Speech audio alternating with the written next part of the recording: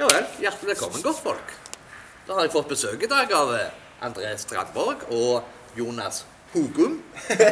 Nei, det var herlig. Du sa jo jeg fikk lov å bruke hva jeg ville. Ja.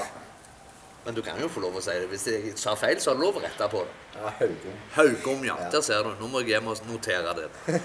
Hjertelig velkommen. Takk, Unge talenter, lovende og full pupp. Ja. Det er jo det. Ja. Er Dere har jo gått alle gradene, og nå er dere på A-lag og koser dere der. ja. det, det er kjekt. Trives med. Trives. Ja. Så ikke for meg det i løpet av i begynnelsen av sesongen. Nei. Det er, jo ikke, det er jo dritkjekt at han slipper til de unge òg. For det, dere viser jo godt igjen. Nå har jo du vært litt skada og ikke fått vist så mye igjen ennå. Nei. Du tar det igjen i sluttspillet? Ja. Nei. Nei, det, det er tøft om Det er tøff konkurranse om plassene, så, men det bare kjekt å være med på trening, liksom. Ja. Vi lærer så mye på trening at det, Du får maks ut av det. Ja. Ja, Treningshverdagen er veldig bra her nå, så ja, og så er det så godt eh, spekter i laget òg at du får jo plukket opp erfaring av de eldre. ja, ja. ja. Så det er en god klubb å være i, vil jeg Ja, si, bra, som unge. Og når de slipper dere til òg så mye som de gjør, ja. veldig bra. Det ser vi jo gang på gang her nå, ja. syns jeg, da. År etter år så er det alltid noen nye talenter som hopper opp. Og dere er jo lovende til de grader, vil jeg si. Å, faen, det var en femmer på bordet, det. Nei, jeg sier det til de grader, så må jeg hive en femmer på bordet, for det er en ting jeg gjentar jævlig ofte. Så sånn er det. Men eh, nå har jo dere gått alle år her i Ålås. Dere har jo spilt gradene opp igjennom. Nå har dere bare laget her. Og så har dere jo òg vært litt på landslagssamling. Det er jo kjekt. Du fikk jo golla litt, og du er kaptein. ja. Så det er jo ikke rusk. Nei, det, Det lover jo godt for framtida. ja, det er veldig kjekt i hvert fall. Å spille med landslaget og få lov til å spille her òg for A-laget. Så Spille her er vel en Folk føler seg vel litt privilegert når de får spille i DNB Arena. ja, veldig. Det er jo en flott plass å spille, og det er en stor klubb å være i. Så, og når vi har to lokale talenter, så er det jo enda kjekkere for oss fans òg, for vi trenger jo litt lokalt. Ja. God miks, sier jeg. Noen utlendinger og litt fra Østlandet og sånn, men vi må ha noen lokale òg. Ja. Og der er jo framtida stor for dere. ja. Dere stikker ikke av. Nei, ikke med det. da. Nei, ikke første. Men det er jo lov å prøve seg her og der. Det er jo karrieren det handler om, og her er det jo kamp om plassen. Ja. Men den har dere tenkt å ta vare på. Ja. Dere skal være Ålesgutter. Så rolig, André. Ja, jeg følte mye ble sagt. Å. Følte det som ble sagt. Du følte det, ja? Å ja. Han tenker bare på de damene han skal ut og date. du, Nei, det er ikke, vil du snakke om det heller? nei, det er ikke så mye damer jeg har. damer. Så. Og du har dame, du, ja. ja men du, han du prøver å spleise med? Ja, det er han jeg prøver. Han er litt ensom til tider. Herregud, har jo ikke en venninne av dama di, da? Nei, eller Jeg har prøvd, men han er kresen. Kresen. Han er skikkelig kresen. Ta det du får. Ja, jeg må nesten det. Litt er lettere for damer for mannfolk enn hva det er for en mann for å få ei dame. Husk det. Problemet er at han får for mye. Å ja, er det den? Ja, ja. Oh, Kaster seg etter han. himmel himmelen her. Må ikke høre på nå. Så herlig. Det er det jeg sier, hockeyguttene. Får damene løpende etter seg. Ja. Uff, nei, det er herlig. Nei, jeg syns det er jo dritkult. Nå har jo dere trent. Eller du har trent. Du har jo ikke. I styrkerommet, da. Du har fått styrka Ja. deg opp, du, ja. ja. ja, Men da er vi to om det i dag, for der har jeg òg vært. Deilig. Men jeg viser det aldri igjen på. Sånn er det. Men du har jo spilt mye nå i det siste, vil jeg si. Ja, jeg har vært eh, heldig for å være med i det siste og føler jeg har gjort det greit når jeg har kommet utpå. Greit. Du har gjort det jævlig bra. Eneste mangler, jo målet. Ja, den, den har jeg ofte fått høre av kompiser sånn, når skal komme, men jeg vet ikke, tenker ikke så mye på det, bare prøver å Det handler ikke om den som lager mål. Det handler om å bidra, og det har du vist jæklig godt igjen. Og jeg gleder meg til å se deg òg mer på is. Ja, det, Bare bli skadefri, du nå. ja. Må det. Ja. Det syns jeg òg. Ja. Ja. Ellers må vi sende dem på en klinikk der det blir fort gjort. Ja. Nei, farsiken heller. Men hva tenker dere om resten av sesongen og inn mot sluttspillet? Det har jo ikke akkurat Det har vært en liten downer. Altså, men det er jo for alle lag hever seg. Det har vært mye skader. Så vi skal jo ikke svartmale noe av det som har skjedd nå. Det har jo vært en fantastisk sesong. Og du fikk jo være med på seriebildet òg, Torgeir. ja. Du viser godt igjen der. Midt i. Midt. i. Satan, så han klinte seg inn der. Det gjorde han bevisst. Jeg så at han reiv ned noen fyrer for å Han gjorde det, ja. Du kjempa om den plassen der for at du skulle komme godt i linsa. Jeg hørte mange som sa au. Nei, det var, det var ganske kult å få være med på det, egentlig. Ja, det er jo liksom Begge to har jo spilt i Oilers hele veien. Så, Ja, så får du være med på en sånn stor stor Ja, det er ganske stort. Jeg så han til stedet fra tribunen og hadde jo egentlig sesongkort til denne sesongen, men Å ja. ja. Såpass. Ja, men det er jo jævlig kult da, når du har sesongkort, og så ender du opp med å være ute på isen sjøl. Det, ja, det det må jeg si er en egen Det er en bonus, det. Ja. det, ja. Faen, ok, jeg òg lurer på om jeg skal kjøpe meg ett til sesongkort neste år. Gjerne jeg òg får være med på isen. det hadde tatt seg ut. Kjelkehockey. Nei, faen. Skal ikke tulle for mye. Men hvordan eh, ser dere Jeg tenker litt på det med Lars Christian Grødne. Sånn, han gikk jo til USA og spiller der. Prøver seg litt. Er det noe dere kunne tenkt dere å gjort, eller ligger i framtidsplanene? Eller tar dere det sånn som det er nå? Det er jo litt vanskelig å si om framtida, egentlig. Ja. Tar det vel mer så det kommer. Det har jo vært akkurat nå, så for min del, så er det jo egentlig perfekt for meg å være i Stavanger. Ja. Det er så bra treningshverdag Ja. ja. Så det er bedre å etablere seg der du er, og heller gjøre deg ønska til en annen plass. Ja. Det er jo drømmen, da.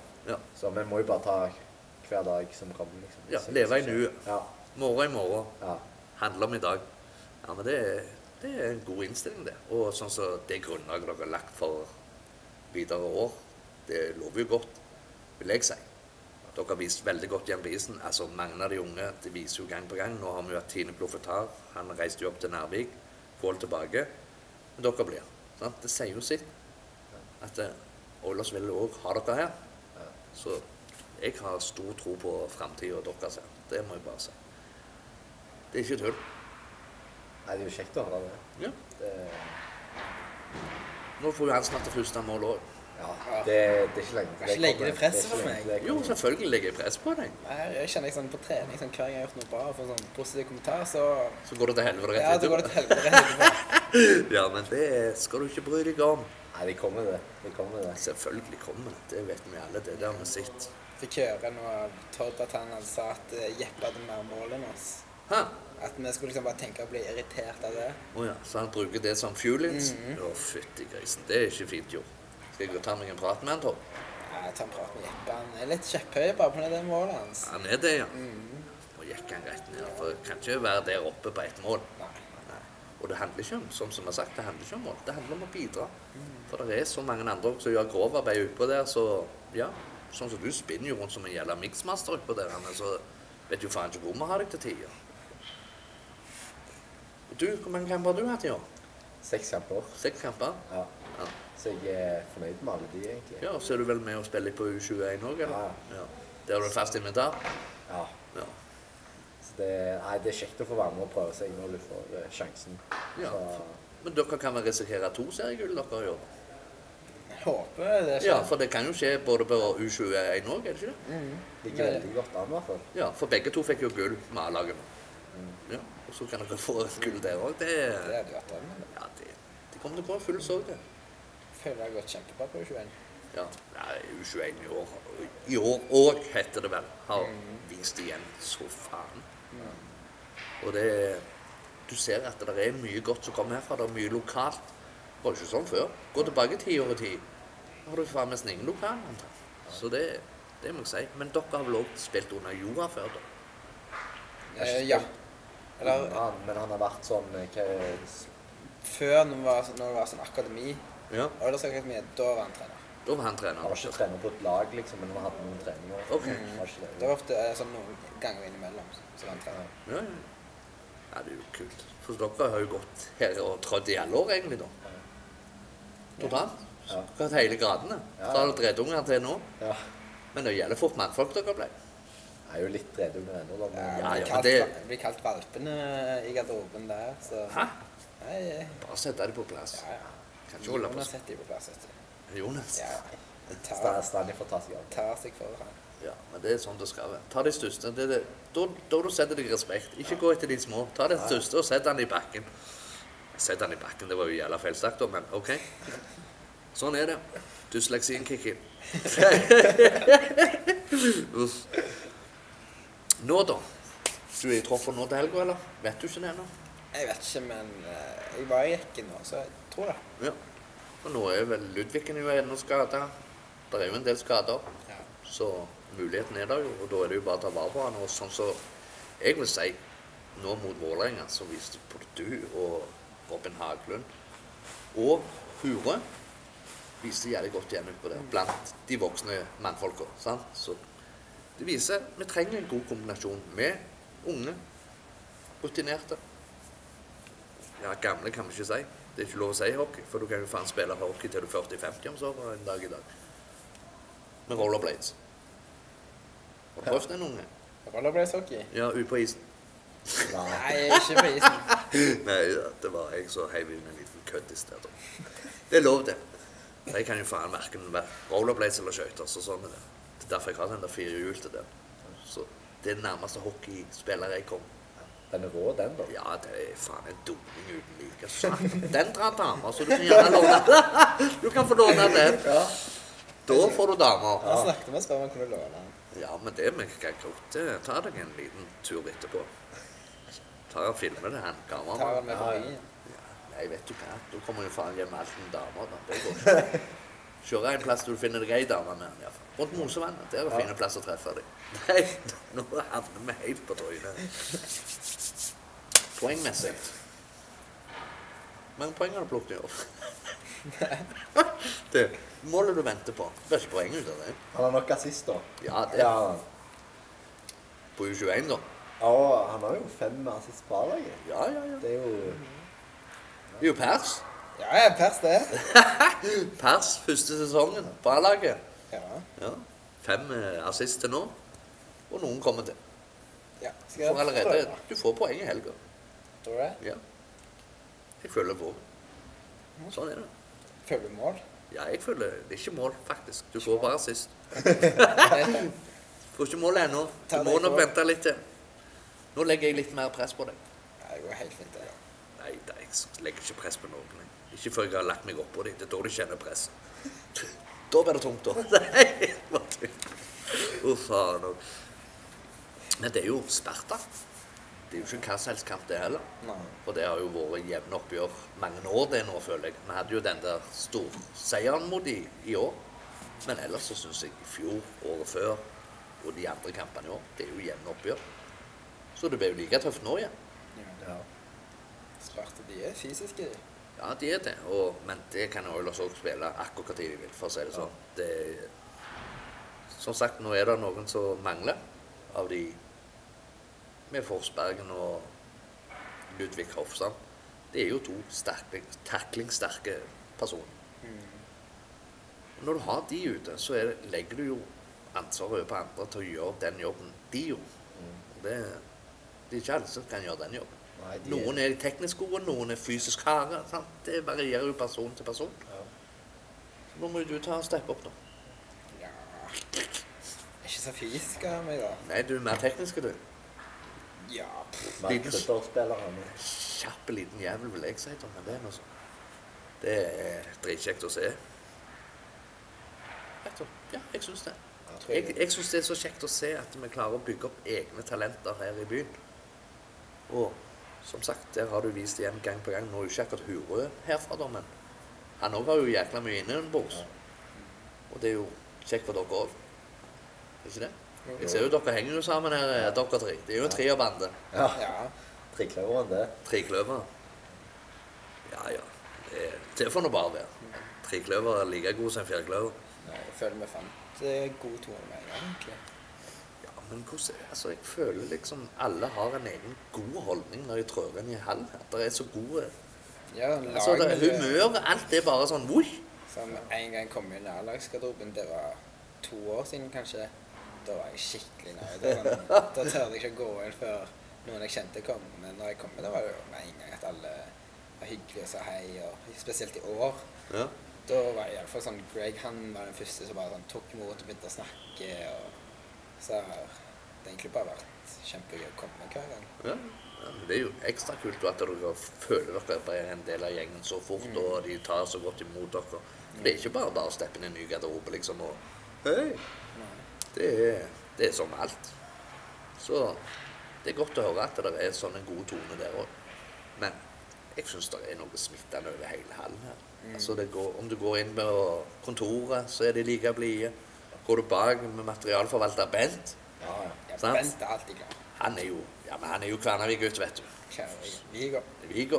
Ja, men det er her òg, det. Alle er her er Vigo. så ikke tull med det. Sånn er det å være fra Vigo. Vi er sprø i hodet. Så du kan være glad for at du ikke vokste opp på de kanter. Jeg var nærme der. Jeg var på Sundag. Er du sundegutt, du? Rett på grensa. Å ja, ja, men det er jo kjekt. Enda kjekkere å vite det. For det er akkurat der grensa går òg. For oss kvernavikinger. Mm. Vi likte godt det. Kunne akseptere de for Sunde, men de til Madla kunne bare reise. Ja, det var, det var ikke langt ifra jeg skulle begynne på Kværner skole. Nei. Du skal være glad for at du ikke gjorde noe, for å si det sånn. Jeg hørte Jeg jo, hadde jo noen venner der, så da sendte de videre når taket kollapsa ned og noen ganger. Ja, ja, men herregud. Det er jo bare å vokse opp i Kvernavik er galskap i seg sjøl. Da hadde du blitt en fysisk hard hockeyspiller. Ja, da hadde, det hadde ikke vært noe problem. Nei, sant. Det, det følger med. Men nå skal ikke vi drive noe reklame for Kværnervika, for det er ikke det det handler om. Det handler om den fantastiske jobben dere gjør for klubben, og klubben i seg sjøl. Og nå går det jo mot slutt av serien. Trist er det. Ja, Iallfall når det har gått så bra. Ja. Men så det jo, ligger jo gulrot, gulrot og venter. Mm. Sluttspillet. Dere har vel et par kamper igjen på U21 òg? Ja, vi har seks kamper. Ja. Og leder den tabellen med Åtte poeng. Åtte poeng. Så Ja, det- viktige ja. kamper nå. Ja, det er viktig. Og som jeg sier, det går jo an å tape en òg, og allikevel Ja. klare seg fint i boks. Så det blir dobbelt gull på dere, jo. Det er Håper- ja, det. jeg, Skal jobbe for det. ja, er sikker på det med andre, iallfall. Dobbelt gull, det er ikke tull. Nei. 2020. 20. Ett gull. 20. To gull. Har vi hele pakken. Deilig. Og du regner med hvor lenge ute, du? Ja, Det kommer litt an på, men jeg håper jo å være klar til sluttspillet i U21 og sånn. Ja. Og er forhåpentligvis med landslaget da. Ja, VM. der er vel, ja, òg kommer nå i år. April. Så April, det. Hvor det skal være i år? Slovakia. Ja. Kanskje navnet på tiden, men eh, tror jeg. Vi sier Slovakia, så lar vi det ligge. Ikke med noen ordbok her og begynne å slå opp. Det klarer ikke jeg, vet du. Det, det var feil. Sant? Lov å si noe? Nei, bare tull. Har du sett hvor rolig han er? Skulle sett han på fritida. Det er et helvete å ha med å gjøre. Kjeften går i ett. Men når vi sitter her, ikke et ord. ja, ja. Ja, ja. Så det er målet da. Se fram til VM. ja sluttspill her. Sluttspillet her. Ja, sluttspill er gøy. Ja. Der òg kan jo bli to gull. Ja, skal jeg få gjøre jobben for det? dobbelt-dobbelt. Det hadde jo vært Dritkult å så rett av gårde VM og så Mm. gjøre en god jobb der. Da er jo sommeren i ekstase, da. Var nærme i fjor med 21. Ja.